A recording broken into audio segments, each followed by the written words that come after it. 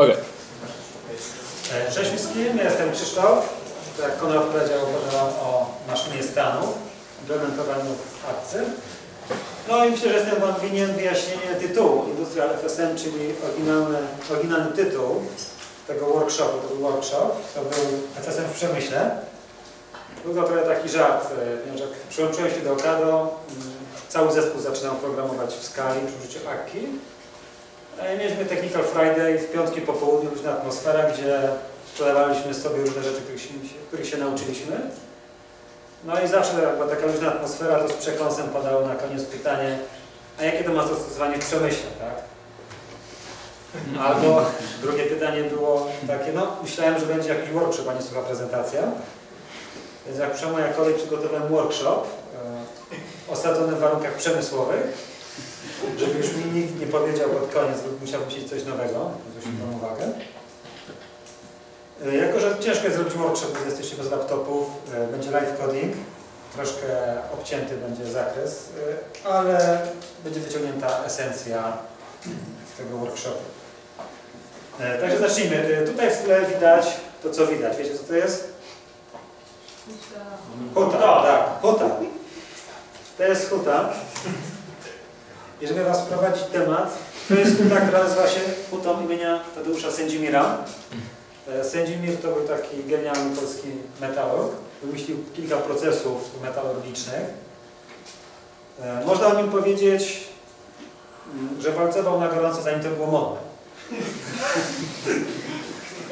To był proces, który on wymyślił jeden z trzech. Jeszcze w latach 80-90% produkcji stali było robionych jego metodą. No ale to się zmieniło tak. Także hutę w latach 50. nazwano hutą imienia Lenina. W 54 był pierwszy upust surówki z wielkiego pieca, a w 95 wprowadzono ciągłe odlewanie. Tak? Mamy continuous integration, oni mieli continuous fasting. A w roku 2005 pan Mital kupił hutę. I to było tyle z historii huty. No ale co się dzieje na hucie? Mamy to sobie z pracy wyniesiemy długopisy, ewentualnie czyste płytki. Ale u nas już płytek nie ma, bo nie nakrywamy. Okazuje się, że na hucie strasznie krawy. Jak przyjrzymy news, ja to wziąłem trochę tych newsów, zrobiłem mniej, to kradną i kradną dużo. Potrafią mieć 23 tony blachy lub więcej rzeczy. E, Nawet słyszałem o takim przypadku, że zbiornik, który na tira się nie mieści, zniknął z terenu, który jest strzeżony na tej zasadzie, że na wjeździe i wyjeździe jest sprawdzany bagażnik każdego samochodu. Jak chcą, to mogą. No i pan Mital się bardzo denerwował, bo pieniądze wyciekały. I stwierdził, że trzeba zrobić monitoring na hucie. No, zatrudnił firmę, która prowadziła nowoczesne rozwiązania przy użyciu praktyki. I pomysł był taki, że teren huty zostanie podzielony na sektory, takie kwadratowe sektory, równo się podzieli. I założymy czujniki ruchu, oświetlenie i kamery przemysłowe. Jeżeli w danym sektorze będzie jakiś ruch, to włącza się światło i włącza się nagrywanie i nagrywamy e, dopóki jest ruch, ruch ustaje, parę sekund jeszcze nagrywamy dla pewności, wyłączamy, żeby nagrywał się więcej. No i tak samo ze światłem. Jak zobaczymy sobie już taką tej aplikacji wizualizację tego, tutaj mamy pokazane stany, tak? Czyli jeżeli jest włączone nagrywanie, będzie taka czerwona ikonka u góry kwadratu, no i różnie, różne poziomy włączenia światła. No i ten cały system został zaimplementowany przy użyciu akki. I działa to tak, że mamy detektory ruchu, które wysyłają nam do kontrolerów kamer i świateł message akkowe z informacją, że w danym sektorze jest ruch. Dla każdego sektora jest osobny aktor. No i ten aktor podejmuje decyzję, co zrobić, czy kamerę włączyć, czy wyłączyć, co zrobić ze światłem. No i ten system już mamy. Oprócz tej brakującej części, możemy sobie założyć, że firma, która to produkowała, miała bardzo niski bus factor, czyli dewelopera, który to robił, uderzył autobus. No i zatrudniono Was do zaimplementowania dalszego e, tego systemu. E, My skupimy się na zaimplementowaniu kamery. Światło już mamy, powiedzmy. Umówmy sobie, co to jest maszyna stanów, ponieważ tą kamerę będziemy, ten kontroler kamery będziemy implementować jako maszynę stanów. Maszyna stanów działa tak, że mamy zdefiniowane różne stany i załóżmy, że jesteśmy w stanie trzecim i przychodzi do nas jakieś zdarzenie, które powoduje, że my przejdziemy do stanu drugiego. W tym momencie zmieniamy stan i na zmianę ze stanu z trzeciego do drugiego możemy zrobić jakąś akcję. Tak samo możemy zostać w danym stanie, jeżeli przychodzi jakiś event lub przejść ze stanu drugiego do drugiego i również wywołać jakąś akcję on transition.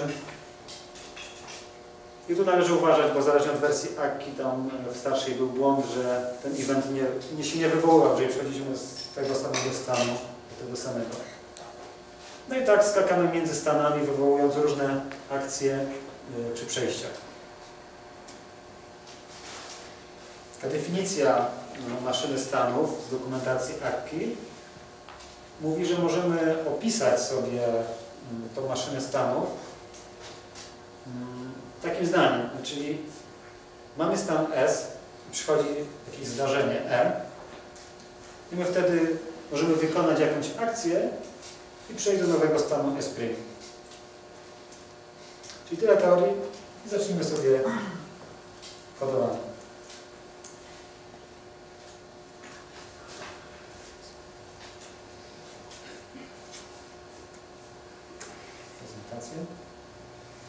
Na początku zacznijmy od prostego aktora, który nie wspiera maszyny stanów. On otrzymuje mm, taki message movement detected na współrzędnych. Ja mam teraz zadecydować, co zrobić. On do kamery wyśle komunikat włączony, ponieważ wykryto ruch, a następnie w schedulerze ustawia, że za sekundę tą kamerę wyłączy. No wygląda to, że ok, powinno zadziałać. Tak? Włączamy kamerę, ruch ustał po, po sekundzie, wyłączamy. Spróbujmy sobie włączyć system.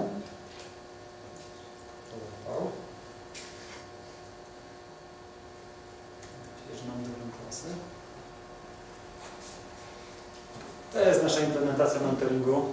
W KAD nie robimy w swingu. Ale tak to wygląda. Mamy mapę huty. Kursor myszki nam emuluje ruch w danym sektorze. Czyli jest ruch, światło się włącza, włącza się nagrywanie.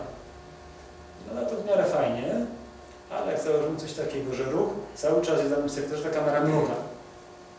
Skąd to się bierze? Zobaczymy w kod. Włączamy kamerę, a po sekundzie każemy ją wyłączyć. Przychodzi po pół sekundy następny komunikat, że znowu ktoś się ruszył. My znowu kamerę włączamy i znowu każemy ją wyłączać. I te zdarzenia włącz, wyłącz kamerę, one są zaskedulowane. Włączania, ona się co chwilę włącza, a co chwilę ktoś wyłącza. I to, to mryganie się wzięło. I teraz chcielibyśmy to zrobić w troszkę lepszy sposób. W taki, że dopóki jest ruch, to my trzymamy kamerę włączoną, a dopiero gdy ruch ustanie, to my wtedy chcemy skończyć. Tą kamerę wyłączyć. właściwą klasę. Na początku przełączę implementację na naszą nową.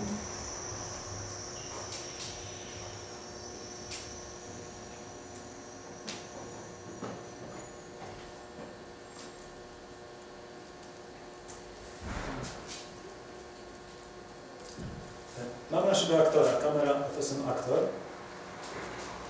Żeby on był maszyną stanów, on musi rozszerzyć trait FSM.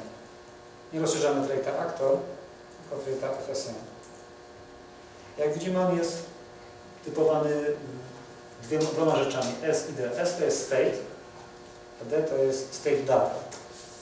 Musimy mu podać dwa, dwa typy. Nazwijmy to pierwszy camera state, a drugi kamera data.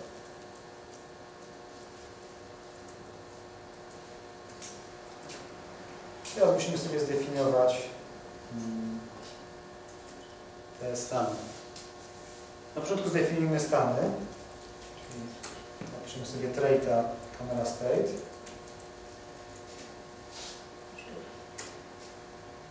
I dwa konkretne stany mamy. Kamera nagrywa lub kamera nie nagrywa.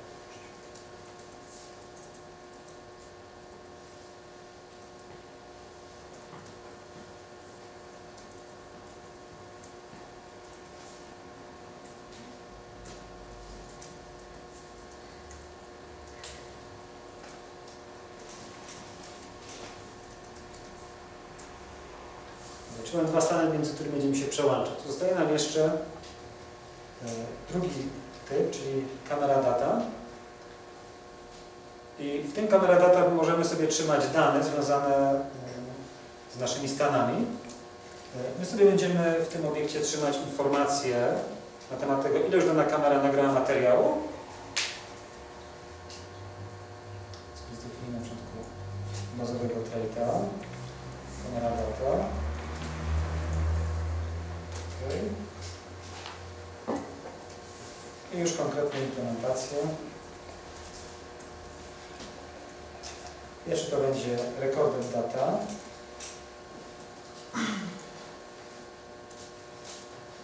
który nam będzie trzymał informacje na temat tego, ile już nagrało milisekund materiału.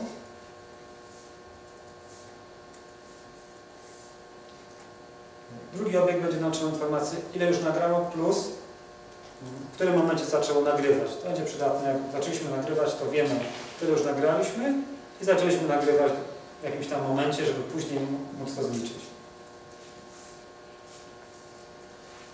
Nazwijmy ten stan, y, te dane session data.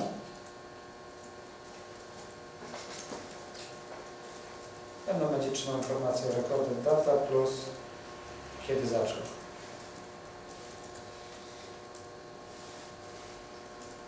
Ok, czyli już nam się powinien ten aktor skompilować. Ale jeszcze mam wiele. Teraz jak mamy aktora, który jest maszyną stanu, musimy mu zdefiniować, jak on się zachowuje w danych stanach i jak ma, w którym stanie ma zacząć. Jest metoda tutaj starts with, w której podajemy mu, w jakim stanie ma zacząć, czyli chcemy zacząć w stanie not recording, czyli nie nagrywamy na początku. I musimy też mu podać obiekt yy, z danymi, czyli nasz kamera data. Dajemy mu, mu recorded data, że nagraliśmy na razie zero czasu.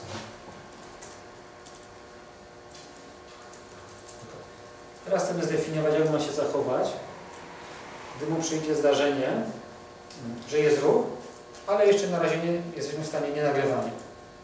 Czyli mówimy mu, używamy when i musimy mu podać, w jakim jesteśmy stanie. W stanie not recording.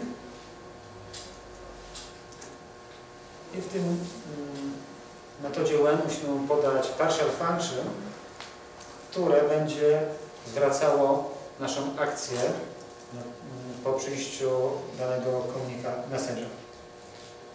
Jeżeli mamy FSMA, to wszystkie message'akowe są opakowane w event z FSMA i w tym evencie mamy pierwszą rzecz to jest akkowy message, który nas przypominamy,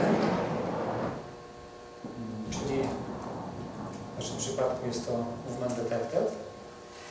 A drugą rzecz, na którą się maczujemy, jest to nasz obiekt state data. Nasz obiekt w przypadku to session data. I teraz sobie definiujemy, co ma się stać, jeżeli nie nagrywamy i wykrytorujemy. No to oczywiście chcemy zacząć nagrywać. I mówimy mu, Chcemy przejść do nowego stanu. Używamy goto, nie jest słowo kluczowe goto.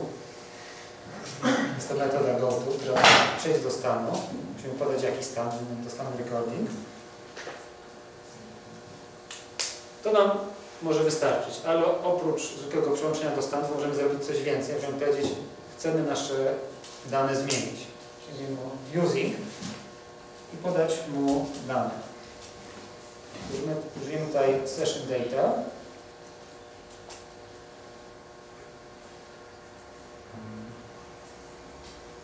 Gdzie podamy mu to, ile już nagraliśmy materiału, plus, że właśnie zaczyna, zaczynamy nagrywać w tym momencie.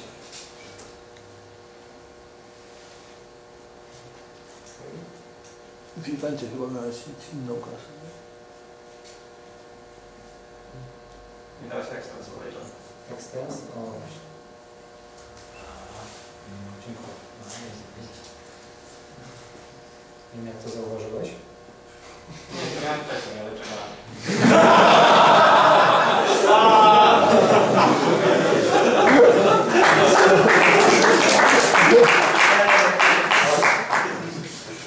jak mam pomoc, to szybciej pójdzie.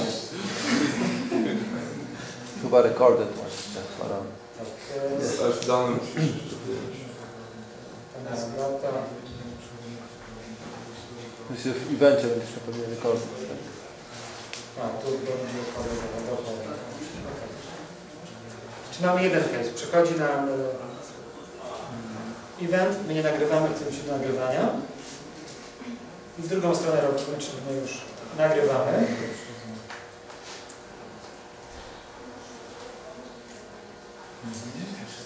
Ale może nie się, bo w tym momencie chcemy jeszcze mu powiedzieć, że chcemy przejść do nagrywania, ale z jakimś timeoutem. Na maksimum jakiś tam czas. Tygodni temp już zdefiniowany.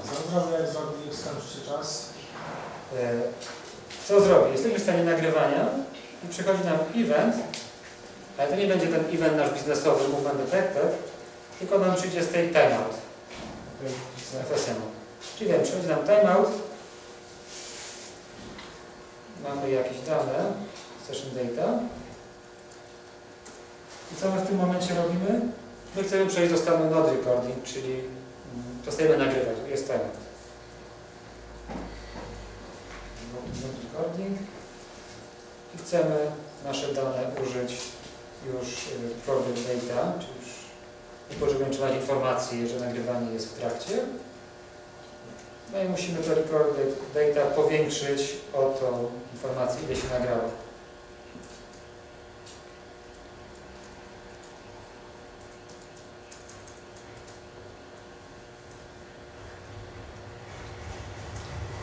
Czyli dodamy 1 milisekund materiału się nagrało.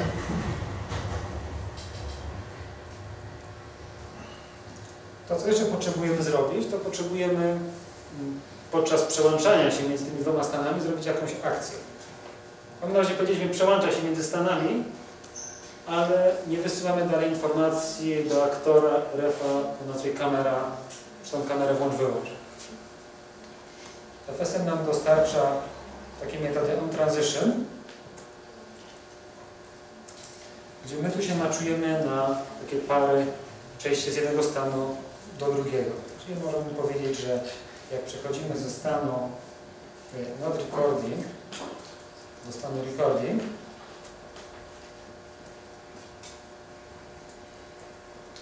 to wtedy chcemy wysłać message do kamery.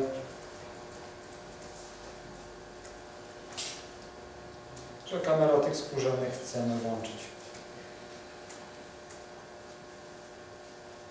Czyli już mamy zapewnione, że jeżeli przechodzimy ze stanu nagrywania do nagrywania, to jest informacja włącz kamerę. No i to samo zrobimy sobie w drugą stronę.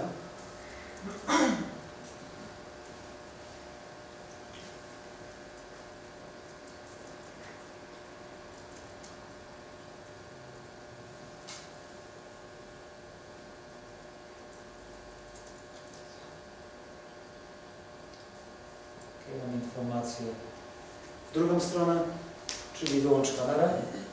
I dodajmy sobie, tutaj możemy print line'a dodać, żeby nam wypisał, ile tego materiału już się zgromadziło. Y, W Font Transition mamy jeszcze dostęp do dwóch rzeczy. Do obecnego obiektu State Data, czyli ten, który jest przed tranzycją i tego, który jest po tranzycji. Czyli możemy sobie wziąć obiekt Next State Data w momencie, gdy się wyłączamy, wyłączamy kamerę i wziąć stąd informację, ile materiału się nagrało.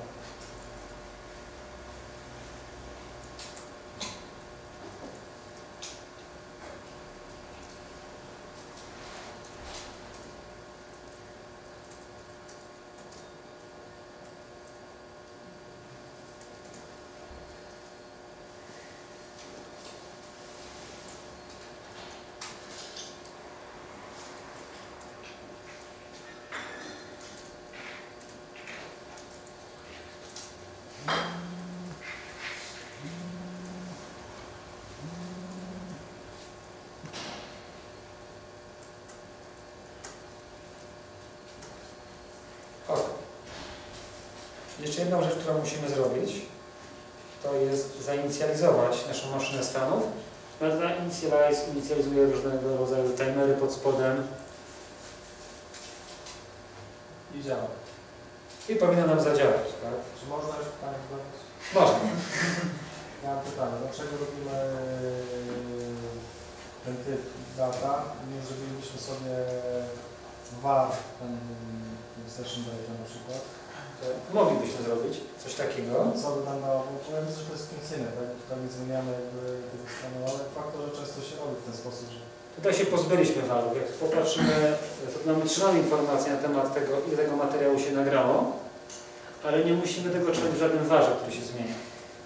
E, Co więcej, jakby tych stanów było więcej, bo ten aktor mówił na przykład 5-10 stanów, on by trzymał dla Ciebie na przykład 15 warów różnych, ale różne wary w różnym stanie miałyby sens. W ten sposób się tego pozbywasz, bo Ty się ma czujesz, że jesteś w tym stanie, masz jakieś tam dane, jakiś obiekt, w tym obiekcie masz tylko informacje, które są dla Ciebie sensowne i potrzebne. Dobra. Mam drugie pytanie, jakbyśmy chcieli to przetestować. Jak najbardziej są testy, które też uruchomimy. No dobra, to poczekamy.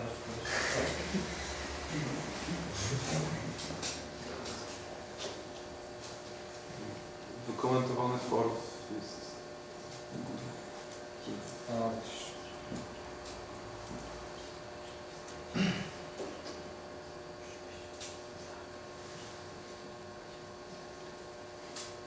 W ogólnym przypadku działa,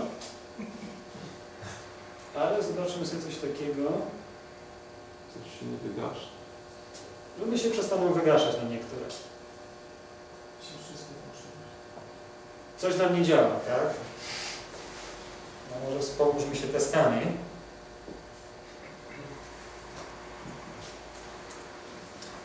Mm, Mam tu zestaw testów. Mm, Normalne testy akkowe. Spróbujmy sobie je uruchomić. Zobaczmy, może testy nam powiedzą, gdzie jest przyczyna.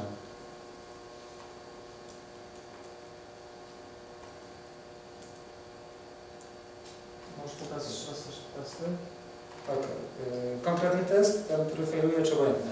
Też Może przez być. wszystkie przejść. No, jak Y,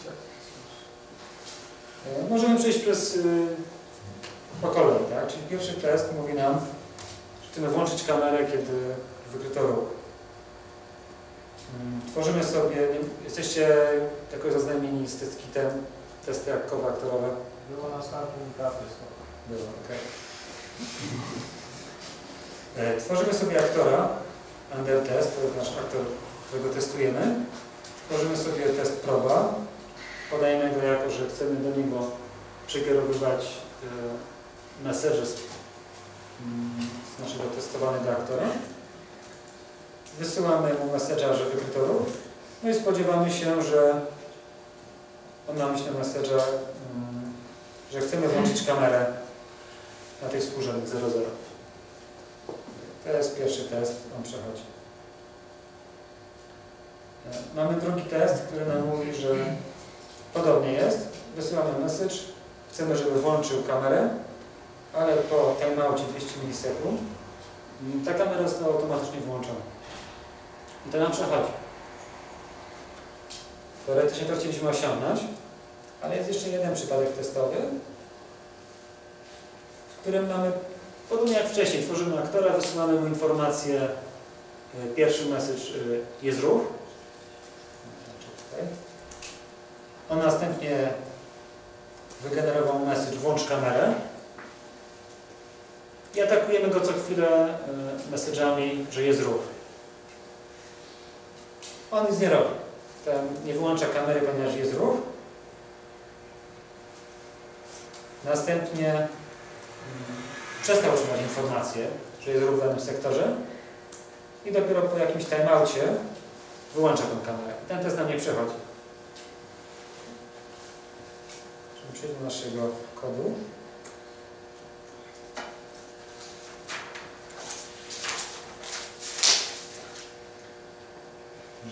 Co się dzieje? Możemy sobie dodać tutaj jeszcze jedną metodę, jednego łena, który trochę inaczej wygląda. I wtedy nam się może wiele wyjaśnić.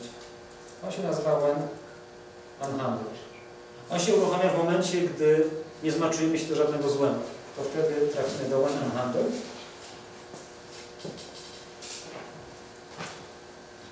Tu sobie zróbmy po prostu print line.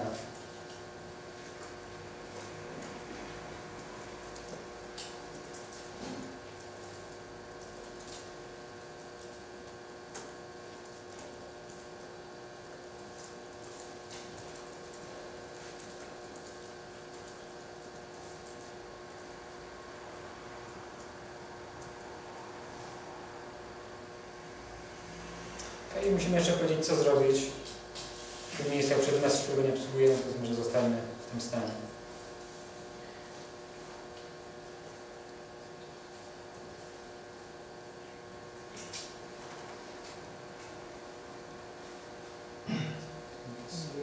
Musisz coś przed, przed eventem postawić. Kiedy jest X.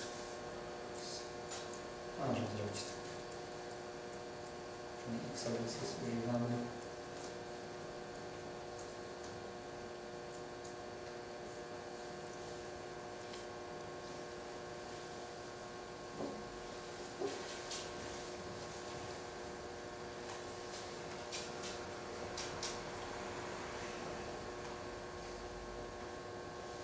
Nie wiem, czy pójdzie na tym. Tutaj nam print o, wychodzą nam print Jest unhandled movement detected. Co się dzieje?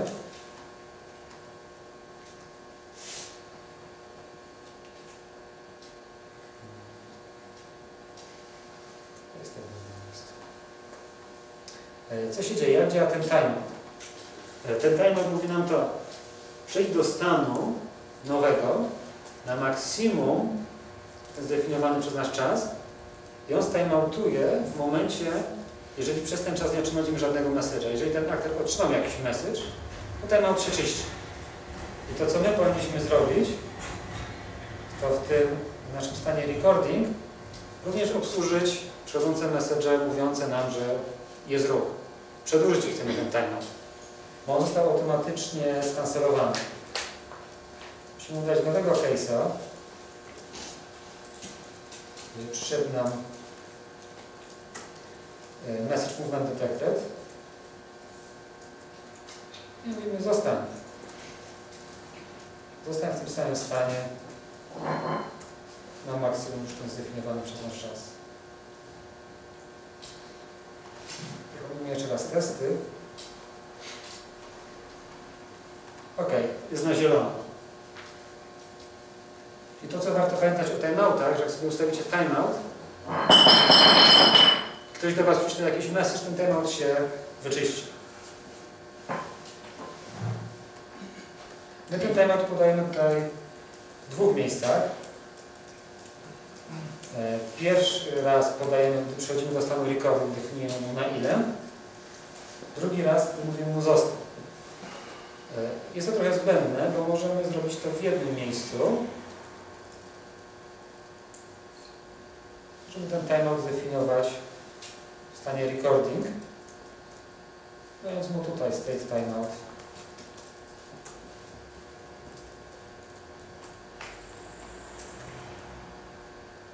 Też to powinno zadziałać.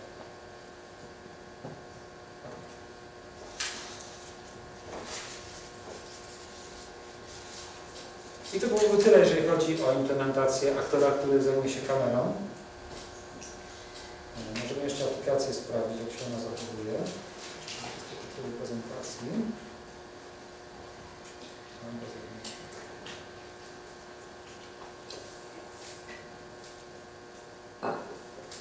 No jak zobaczymy, nasz program monitoringu zachowuje się normalnie. Cały czas jest ruch w tych sektorach, kamera nam nie mruga.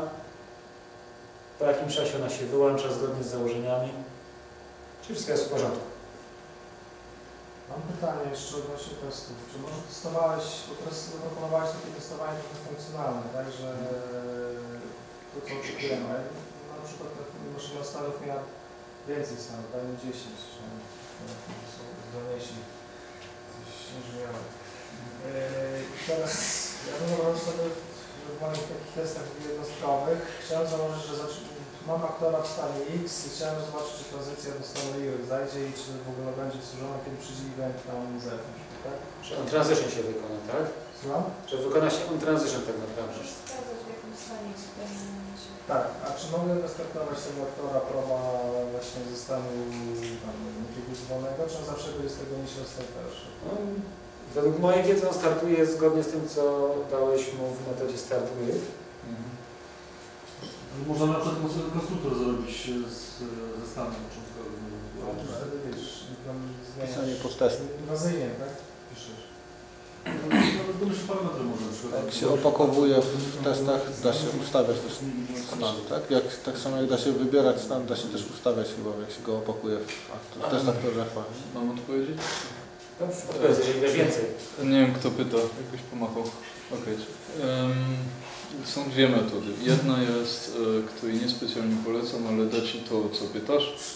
E, Jest taki test aktowy, tylko wyspecjalizowany dla FSM-a. To robisz z nim wszystko, cokolwiek by Ci się chciało. Tylko, że to jest jednowątkowe wtedy, więc jak masz jakieś problemy z timingiem, to tego nie wykryjesz, więc dlatego ich nie polecam. To, co polecam natomiast, to w takim unhandlers czy w transitionach możesz na event busa eventy wysyłać, co i tak wysyłasz, bo robisz jakiś logging czy coś takiego. Na event busa eventy wysyłać. Tak? Tak, no i z event busa możesz później, jeżeli to są jakieś takie twoje domenowe, powiedzmy, eventy, że jeżeli jest to tranzycja, no to w mojej domenie ma się stać coś tam, to w testach możesz zrobić subscribe na ta moja domena, nie? te twoje eventy i wtedy czekasz na to, że to, co faktycznie testujesz, to, to, to stworzenie tego eventa, pójście na ten event bus, że się tam pojawiło. Nie obchodzi Cię, że ten on transition się pojawił, tylko że to zdarzenie w mojej domenie się stało. No to jest dokładnie to, co tutaj, tak? Czyli jest transition, jest jakiś message wysyłany, my Albo, maczujemy się, że albo ten message ręcznie- przyszedł. albo ręcznymi message'ami, tylko ręcznymi message'ami to wtedy jest odpowiedź, nie? A jeżeli odpowiadasz komuś innemu, No komuś innemu przekazuje tak naprawdę tę informację. to, to czasami można zrobić takiego side effecta na event bus i ktoś może oglądać tego event busa, czy to wygląda w porządku, a konwersujesz z kimś innym na boku. Mhm. To, to jest zalecane w takim scenariuszu. To się nazywa ten wzorzec jakoś, czy to jest Play? Eee, System.eventstream. Dostępny w każdym aktorze. Okej, dziękuję. Jakieś pytania? Nie, to dziękuję. Świetnie to, podobało mi się.